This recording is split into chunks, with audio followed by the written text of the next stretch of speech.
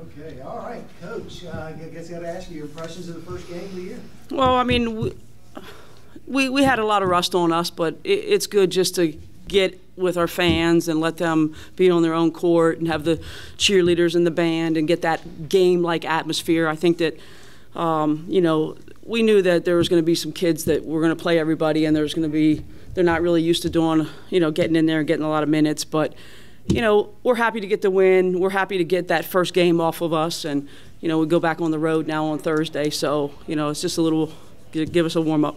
So a great balance scoring. Ten different players scored for you today. Is that going to be something we see a lot of going forward too? Well, I think that our starters should be getting in double figures for sure. Um, we, we believe that we can go eight, nine deep. So you know, if we can get nine players really cooking and giving us some some points that would be great to help us out. But you know, with, with Jenna and Jada, those two kids every night they know we know they're going to come and play and they're going to produce, and you know they're they're just the ones that go on our team. Uh, Jenna, 25 points, four assists, six steals. You just had a lot of energy out there yeah. today. What did it feel like to get back on the court? Um, I thought it was a first exciting game. You know, um, I go, went in with a lot of confidence. My teammates had a lot of confidence in me, and we just you know wanted to have fun today, and it was good that everyone played. So I thought it was really good. Yeah, y'all seem very supportive of each other. Yeah, yeah. baskets for everybody.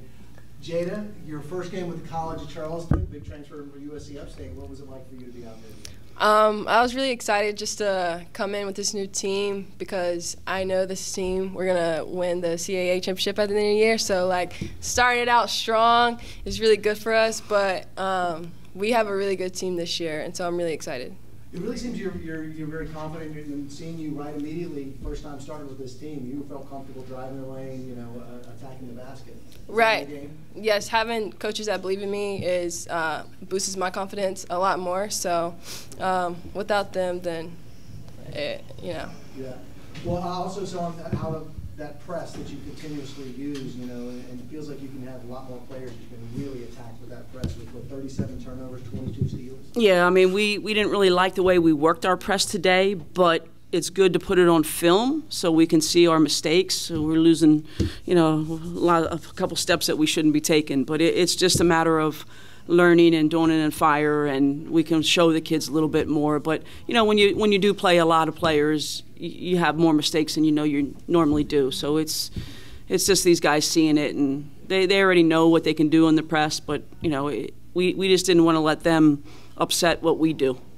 Uh, and lastly could you just comment on the new players? You had four transfers and four freshmen all got time on the court today. What you're seeing there? Yeah, I mean that's what we want to do in a game like this is make sure that we play everybody and you know just see what they can do.